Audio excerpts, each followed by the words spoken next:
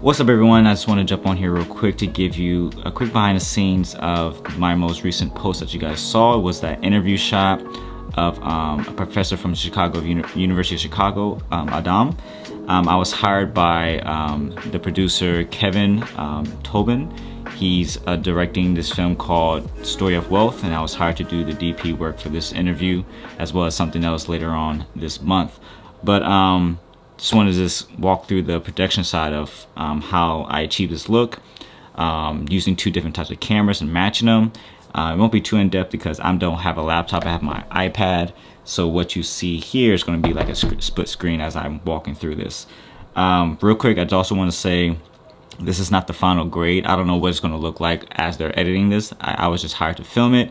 This was a quick 25 minute touch up to match the two cameras as close as possible without really doing like major tweaking or anything like that. So I'm happy how it turned out. This was shot with the Zcam E2 F6, that's my camera, as well as the Blackmagic Pocket 6K Pro, that's my other camera I had. Um, both were using Zeiss glass, so the Zcam, the wide shot, which we see here. So this wide shot here was shot with the Zcam. Um, and then the Z-Cam with the 21 millimeter lens on it, the Zeiss Distagon lens. And then this tight shot was the, the 85 uh, 1.4 Zeiss planar lens. Um, no filtration, no NDs. Um, I both I shot both cameras at high ISOs, so they are both at roughly 25 ISO respectively. The native dual native ISO for the Z Cam is 2500 ISO. Um, the Blackmagic Pocket is it's at 1250, but I boosted it just to get the same light levels on that. So that's the technical thing out the way. So let's just actually just talk about the lighting. Very simple, very easy. Um, how I lit this, um, we shot this in the home of the professor. So as you see, we're dining room, living room area. Um, and as we got there, we had about less than an hour to set up when that happens, you need to be kind of quick. I didn't see, I think I saw one image of the space before I got there. Um, so I had to just think very quickly of how color works, what do we want in the background, etc, etc. I have my Aputure 120D um, as the main light. And what I like to do with this light is I put an extra diffusion. Um, so underneath it is a egg crate grid um, that helps again with like spill. This makes a little bit more direction but I find, find that still too harsh. So then I have a white muslin and it's a much more warmer tone um, and I put that over top and that significantly cuts down the light. So that's about almost a probably a stop and a half or so.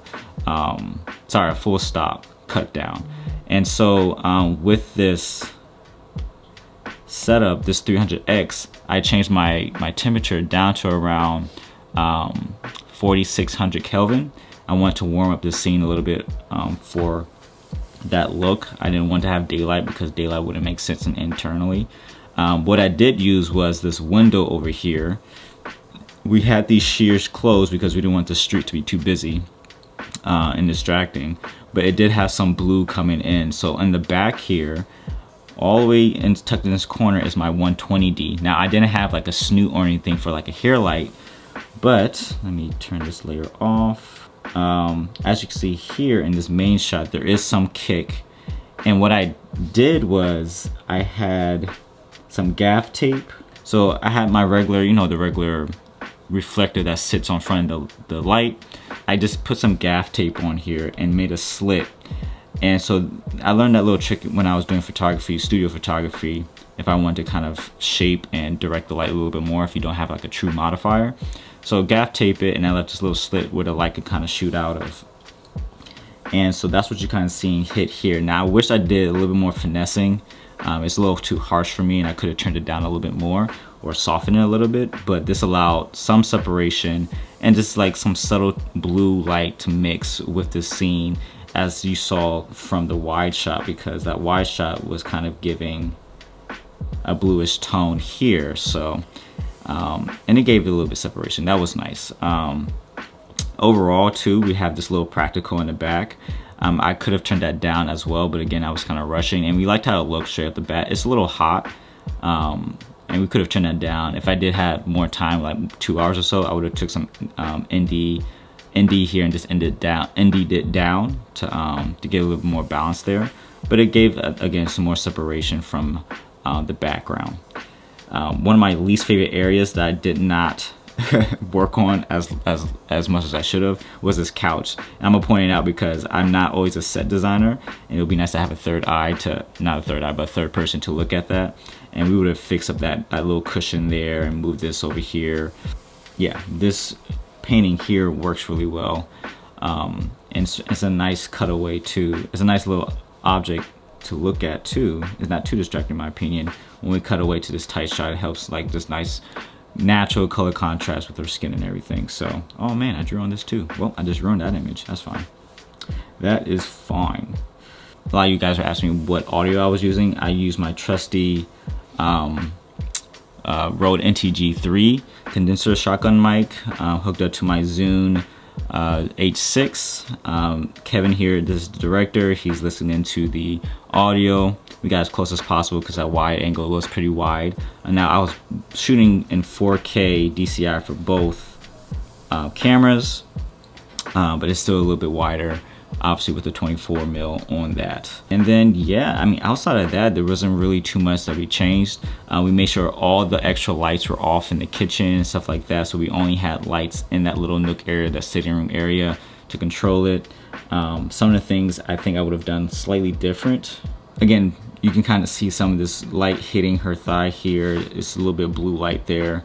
Um, again, I wish it would have kind of softened it a little bit more. Um, I would like to have this light a little bit closer because the closer the light, the more you can kind of turn it down, but it's just softer and a softer wrap that it gives. Um, it's a much more pleasing look, but um, since he was wearing glasses, I did my best to avoid um, having the reflection in her eye as much as possible. So having the right angle is really important. And I never shoot or I never point the light directly at my talent. I always feather it a little bit um, it creates less hot spots. Now I didn't refine it as much as I should have for that second angle. Let me turn that on here. You can still see some hot spots on her face, but um, it's not terrible, I would say. Can I erase this? No. Forgive me, I'm learning how to do this on the iPad right now as I do this. But um, yeah, that's, I don't have to talk anymore from that. That was the breakdown, nothing um, too crazy. Having more time is always going to be a benefit. And so um, once you land on the it took us like 20 minutes to land on this is the this is the angle we want to film at. And then now you have to rush to kind of get everything up and make sure it's dialed in. So um, more time is always great but we didn't have that luxury. Um, but if this is beneficial for you I didn't do much nothing too crazy. I just stay true to some of the key principles that I know. Um, if you can get the light as close as you can to your subject and then feather it it's gonna give a nice pleasing look. Um, especially if you're trying to have glasses make sure it's at the right angle so they won't hit um, the glasses you won't see the reflections. And then using a second light to help separate um, it's not much it's not so apparent in this wide shot but if you cut to that second angle you can definitely see that it helps um, get some separation or just kind of motivates whatever practicals or extra light or window that you have in the background which was this sort of a blue tinted um, blue light from the outside from that cloudy day that we had um, and definitely take an overall look at the scene. So if you want to change something like a cushion, couch, make sure no C-stand or anything like that's in the shot. Take a second if you can do that. I wish I would have did that with this scene here, but it is what it is. Cool, all right, that's it, bye.